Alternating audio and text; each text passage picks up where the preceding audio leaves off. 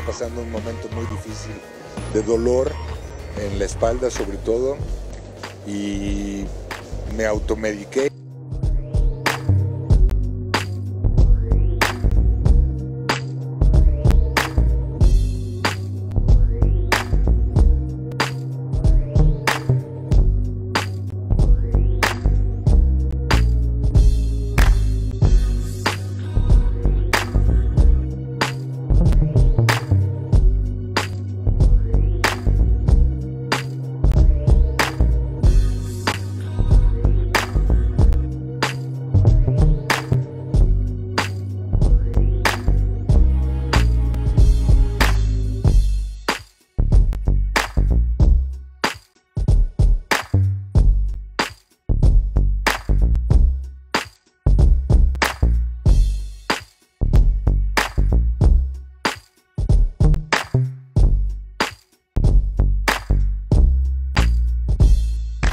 Ya por ahí me mataron de cáncer, por otro lado me no sé qué más.